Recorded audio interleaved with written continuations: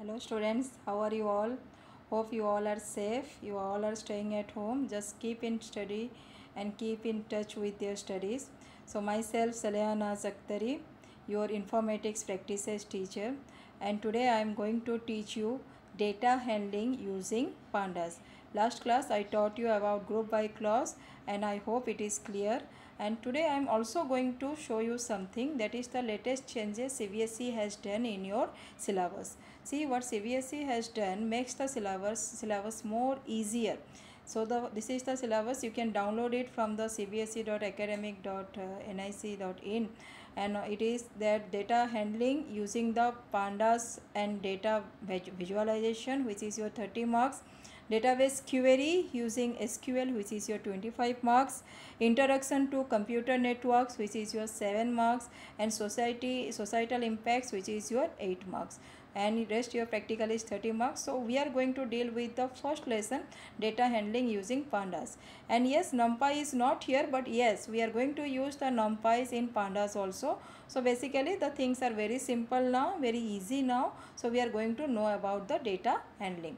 Now data and handling two words. You must be knowing data is something that we are taking from the user or we are processing and giving it in the form of the output. Handling means how to handle it how to analyze this. The best example of the data handling must be seeing every day in the news channel in the form of the graphs in the form of the statics that they are showing you how the coronavirus is showing its own power by affecting different countries. Every day we are having the different numbers. So here coming to the pandas it is the python package okay it is coming along with the python library. Python and library in the sense python so obviously you have to download and library in the sense it is the form of your different files.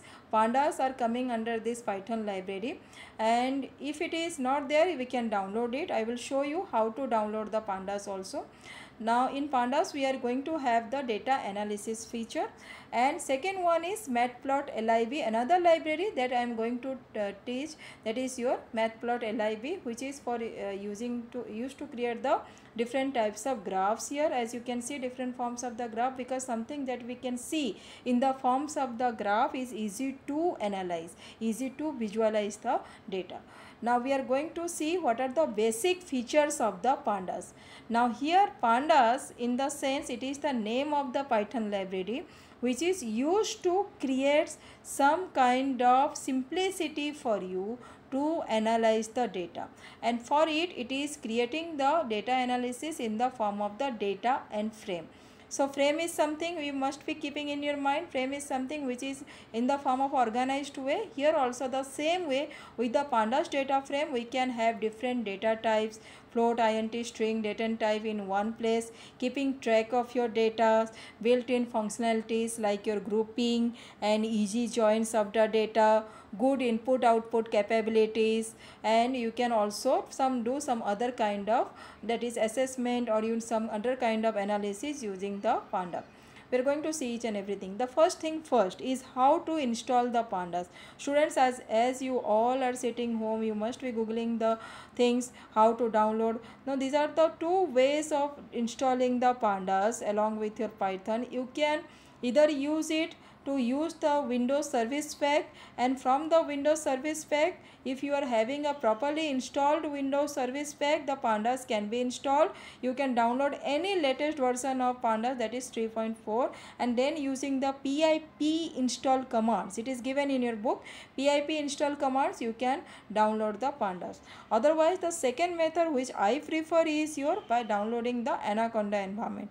Here all the packages are coming along with it.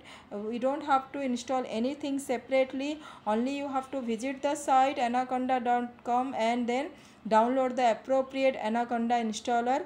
And from this you can again download the import pandas and and then run it. Now how to run it? Once you draw, uh, download the Spyder from this anaconda or you have installed the python 3.7 above simply write it down this statement. Import pandas as pd if it is running without showing any error that means you are done. Okay now we are going to see today there are two different data structures. You must be confusing what is data structures what is data series. See all are related with the data. I am going to show you the difference between all these terms is nothing but one and only how to manipulate the data how to do the analysis of the data. Only the different ways are there different roads are there all different suggestions are there. Whichever way you want to go you can use that we are having here data structures in pandas. That pandas is providing you two important data structures. One is your series one is your data frame. What is series? Series is your one dimensional array like structure which is having a homogeneous type of data. And the basic features of the series are your homogeneous data size is your immutable values of the data are mutable. Now homogeneous means it is having the same type of data. You can see here all are numbers. No words are there. No date and time values are there. 78 45 82 89 96 whatever is given they are all numbers. Clear now size is immutable. That means it is having 5 values. The 5 will be fixed. You cannot change it to 3. We cannot increase it to 7. No, that's not possible. Values of the data are mutable. Yes, we can change the data present inside these boxes. That is possible. Mutable means something which we can change. Immutable means something which we cannot change. Clear? So, what we have learned from this series? It is a one dimensional like uh, array like structure which is having the homogeneous data next one is your data frame looking at you must be clear it is in your mind that it is like a table isn't it it is uh, consisting of your heterogeneous type of data now see it is having numbers, it is having letters, it is having words and also it is having data words. So many types of data. And what are the basic features? It is first one is it is having heterogeneous types of data. Second one is it is size is your mutable depends on the data it increases or it decreases. Third one is your data is mutable. Now we are we have already seen that data frame or the pandas providing two important features that is your series and data frame. I am revising this again. Series is your one dimensional array like structure providing you these three features homogeneous data size immutable and values of the data are changeable. And heterogeneous data that is your data frame size is mutable and data is also mutable. This is more flexible than the series. Now time came here how to create the series. Then we'll see how to create the data frame. The first one pandas that, that is pandas series it is like your one dimensional array capable of your holding data of any type it can be your integer string float python objects etc and here the syntax if you look at the syntax we are having pandas the series which is having data index data type copy. And it is can be created using the three objects which is your array dictionary scalar value or constant. Clear? So in the next class i will teach you how to create the series from the arrays. I will just show you the Achha, let's learn also how to create an empty series. How to create an empty series? You only have to import pandas. Listen students, you can write it as it is like import pandas as p series s equals to p series dot series here dot after dot uh, s is capital with the two round brackets and print s and the output it will show you the series with the two square brackets and d type equals to float 64. This is only the simple empty series that we have created.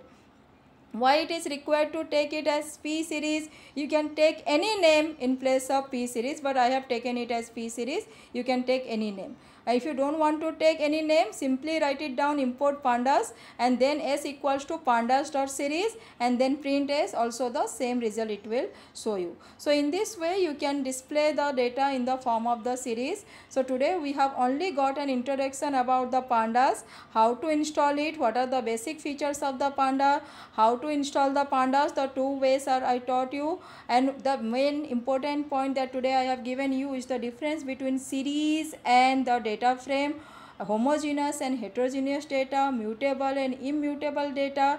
From how many objects you can create the data that is your array dictionary and scalar objects and that is all the things and how to create an empty series. In the next class i will teach you how to create a series from dictionary. I hope it is clear to you. Please go through it download it and learn from it. Okay? Thank you